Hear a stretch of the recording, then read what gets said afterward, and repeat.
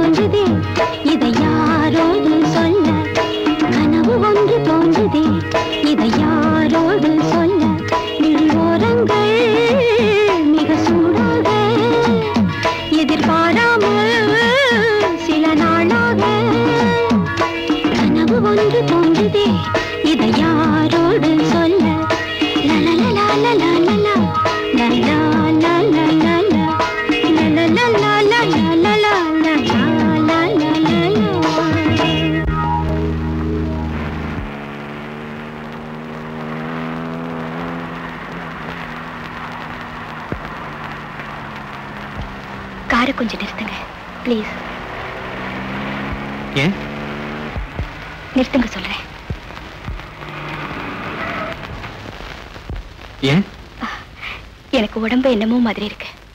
எனக்கு லீவு வேணும். வீட்ல போய் ரெஸ்ட் எடுத்துக்கலாம்னு நினைக்கிறேன்.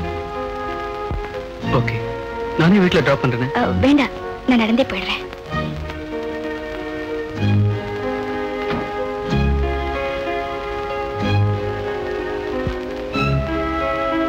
தெய்வமே சபலத்திற்கும் சலனத்திற்கும் என்னை ஆளாக்காமல் ஒரு நல்ல தாயாக வாழவிட. அதுவே என் பிரார்த்தனை. என்ன? திவ்யா ராஜினாமா செஞ்சுட்டாங்களா?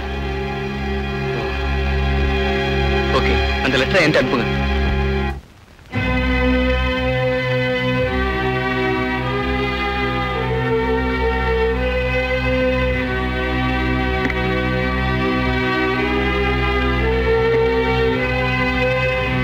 என்ன மம்மி ஆபீஸ்க்கு நேரம் ஆகல? நான் போகல. ஏ லீவா? ராஜினாமா செஞ்சுட்டேன். எனக்கு அந்த ஆபீஸ்ல வேலை செய்ய பிடிக்கல.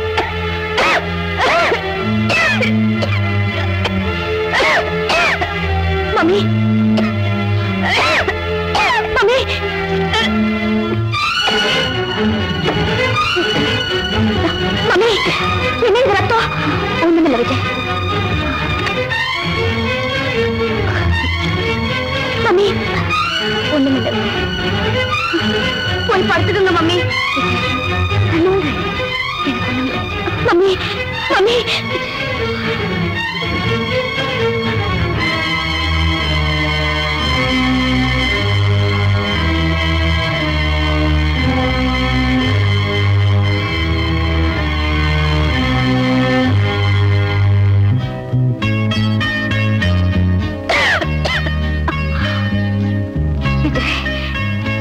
விஜய் உன்னோட பணம். பத்தாயிரம். நான் உனக்காக எடுத்து வச்ச பணம். இவ்வளவுதான்.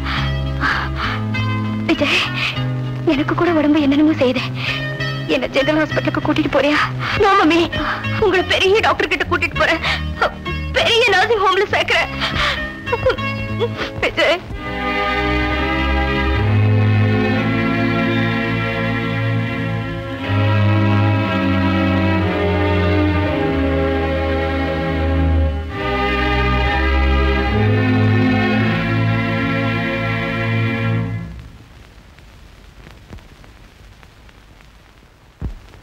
come in doctor Yes, come in.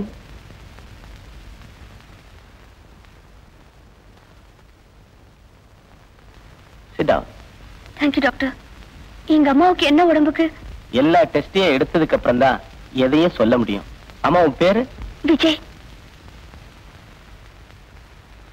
அம்மா உயிருக்கு எந்த ஆபத்தும் இல்லையே doctor don't worry Vijay.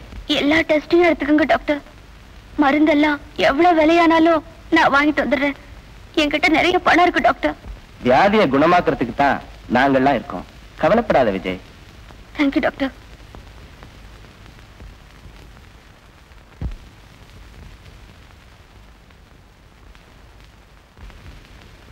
Vijay எனக்கு ஒண்ணும் இல்லை. I'm all right yes mummy எனக்கு தெரியும். யூர் ஆல் ரைட்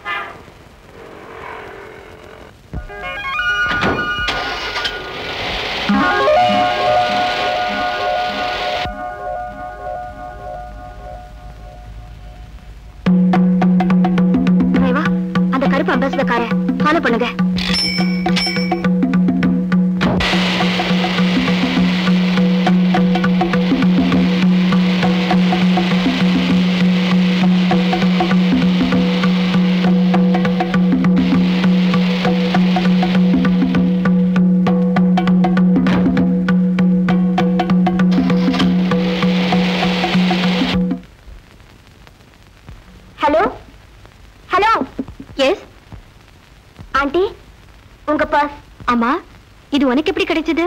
நீங்க கடையில இருந்து வந்து கார்ல ஏறும்போது கீழே விழுந்தது. அதை நீங்க கவனிக்கவே இல்ல.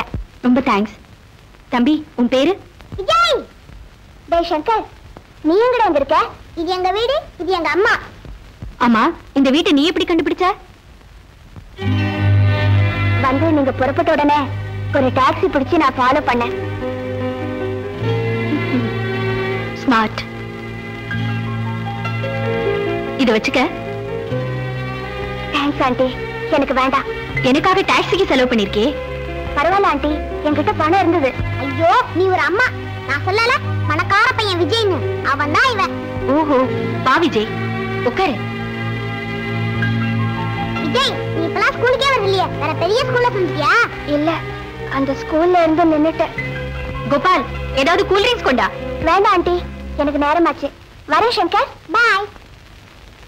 ஆயா? அவங்க வேலையை விட்டே நின்னுட்டாங்கம்மா. இனிமே வரவே மாட்டாங்க. என்னது? இப்படி சொல்லாம கொள்ளாம நின்னா இப்படி? இனிமே சங்கர் யார் பாத்துக்குவாங்க ஆண்டி என்ன விஜய்? அந்த ஆயா வேலைய நான் செய்யலாமா? நீயா? ஆமா ஆண்டி. நான் சங்கரை நல்லபடியா கவனிச்சுப்பேன். அவன் ஸ்கூலுக்கு சாப்பாடு எடுத்துட்டு போறேன் விஜய் அதெல்லாம் வேலைக்காரங்க செய்யறது. ஆண்டி எங்க தாத்தா செத்து போயிட்டாங்க. எங்க அம்மா ஆஸ்பத்திரியில இருக்காங்க. இப்ப நாங்க பணக்காரங்க இல்ல. நான் சம்பாதிக்கணும் ஆண்டி. நீங்க எவ்வளவு கொடுத்தாலும் நான் வாங்கிக்கிறேன். ஓ விஜய் உன் நிலைமையை தெரிஞ்சுக்கிட்டேன் நீ இங்க எதுவும் செய்ய வேண்டாம் சங்கரோட விளையாடிக்கிட்டு அவனோடயே இருந்தா போதும். மாசம் நூத்தம்பது ரூபா தர. Thanks aunty. விஜய்? மம்மி நான் இப்போ சம்பாதிக்கிறேன். மாசம் நூத்தம்பது ரூபாய் விஜய் நீ வேலைக்கு போறியா? எங்க? யார்கிட்ட? No mummy. வேலை ஒண்ணும் கிடையாது. என் ஃப்ரெண்டு கம்பெனி கொடுக்குறேன் ஐ ப்ராமிஸ் நல்ல ஹவுஸ் நல்ல ஆண்டி என்ன நல்லா ட்ரீட் பண்றாங்க. விஜய்.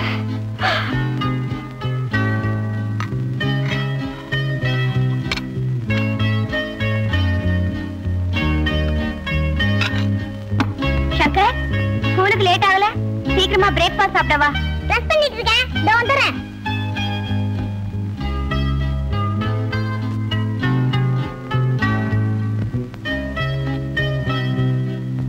ஏ விஜய் இந்த வேலையில உன்னை யார் செய்ய சொன்னது? கோபால் வெளியே போயிருக்காரு. அதனாலதான் நோ விஜய். நீ உட்காரு. சங்கரோட சேர்ந்து நீ டிஃபன் சாப்பிடு. நான் அன்னைக்கே சொல்லியிருக்கேன்ல சங்கரோட பொழுது போக்குறதுக்காக தான் நீ இந்த வீட்ல இருக்க. அம்மா ஐயா வந்துட்டார். என்னங்க பாம்பேல ரெண்டு நாள் தான் வேலைன்னு போனீங்க? நாலு நாள் தங்கிட்டீங்க? போன காரியம் முடிய லேட் ஆயிடுச்சு. ஆமா யார் இந்த புது விருந்தாளி? ஹலோ டாடி ஹலோ சங்கர் எப்படி மேன் இருக்க? டாடி நான் சொன்ன பாருங்க விஜய். என் ஃப்ரெண்டு இவன் தான். அம்மா இவனை வேலைக்கு வச்சிருக்காங்க. வாட் என்னங்க இப்படி கொஞ்சம் வரீங்களா? அந்த பையன் பணக்கார குடும்பத்தை சேர்ந்தவன் போல இருக்கு. திடீர்னு நொடிஞ்சு போயிட்டாங்க. வேலை செஞ்சு சம்பாதிக்கணும் ஆண்டின்னு என்கிட்டயே கேட்டா எனக்கு பரிதாபமா இருந்தது. நான் பொல்லாதவன். டிங்கு தாக்கடி டிங் பொய் சொல்லாதவன். டிங்கு தாக்கடி டிங் தென்னஞ்சத்தில் வஞ்சங்கள் இல்லாதவன். வீண் வம்புக்கும் நான் ஒரு கொஸ்டின் கேக்குறேன். ஆன்சர் சொல்றியா? ம் கேள. How did music begin begin. நீயே சொல்லு When man first began to notice his surroundings, there was a kind of music already here.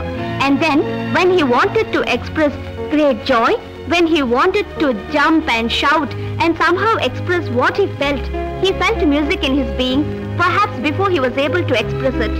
Eventually, man learned to sing, and this was the first man-made music. Kabaddi kabaddi kabaddi kabaddi kabaddi kabaddi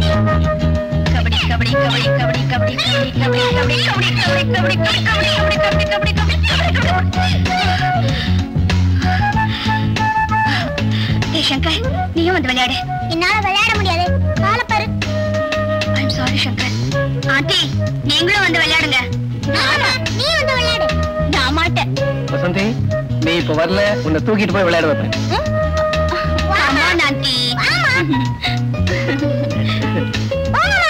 kabaddi kabaddi kabaddi kabaddi kabaddi kabaddi.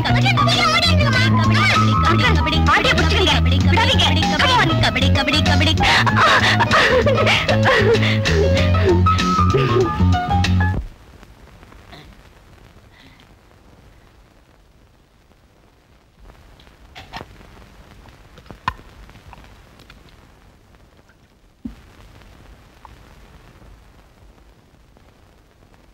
Aha. Good afternoon Sastri sir coffee. அம்மா கொண்டு போலான்னு இருக்கேன். வேற ஒண்ணும் இல்ல. சக்கரை இருக்கான்னு பார்த்தேன். நிறையவே இருக்கு. காஃபி நன்னாவே இருக்கு. நல்ல வேலை சாஸ்திரி சார் நீங்க வந்தீங்க. உங்களை தான் வீட்டுக்கு காவல் வச்சுட்டு போலான்னு இருக்கேன். இந்த வீட்டுல ஏதாவது ஒரு கம்பியில என்ன கட்டிட்டு போறேங்கிற. சேச்சே நான் வேலைக்கு போறேன். ஹாஸ்பிட்டல்ல இருந்து ஏதாவது தகவல் வந்தா கேட்டு வச்சுப்பீங்கல்ல? பேஷா பேஷா. விஜய் விஜய் பெரிய டாக்டர் உன்னை கூட்டிகிட்டு வர சொன்னாருப்பா. என்னாச்சு? அம்மாக்கு உடம்புக்கு ஏதாவது? அதெல்லாம் ஒண்ணும் இல்ல. உங்ககிட்ட ஏதோ பேசணுமா? போலாமா? சாஸ்திரி சார் நீங்க வீட்டை பாத்துக்கோங்க நான் இவரோட போயிட்டு வந்துடுறேன்.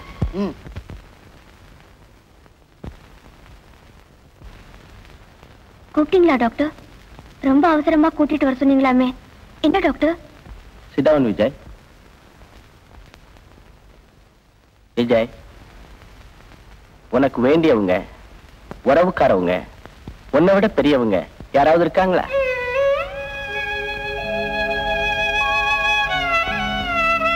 எனக்கு வேண்டியவங்க. எனக்கு இருக்கிற ஒரே ஒரு உறவு. எங்க அம்மா தான் டாக்டர். வேற யாரும் இல்ல. சொல்லுங்க டாக்டர். என்கிட்ட சொல்லுங்க. விஜய் உங்க அம்மா வீட்டுக்கு கூட்டிட்டு போயிடலாம். ரொம்ப தேங்க்ஸ் டாக்டர் ரொம்ப தேங்க்ஸ் எங்க அம்மாக்கு உடம்பு குணமாயிடுச்சுல? விஜய் நான் எப்படி சொல்றதுன்னே தெரியல. நீ ரொம்ப தைரியமா இருக்கணும். டாக்டர் மருந்துகளாலேயோ டாக்டர்களாலேயோ உங்க அம்மாவை குணப்படுத்த முடியாது விஜய்.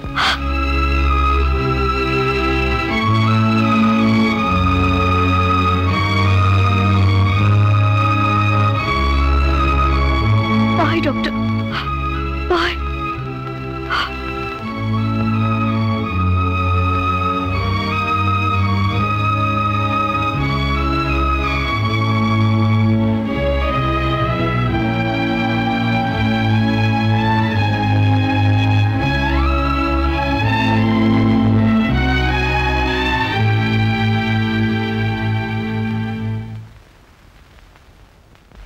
மம்மி.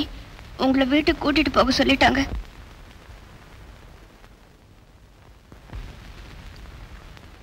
உங்களுக்கு உடம்பு குணமாயிடுச்சா? நிஜமாவா? டாக்டர் சொன்னாரு.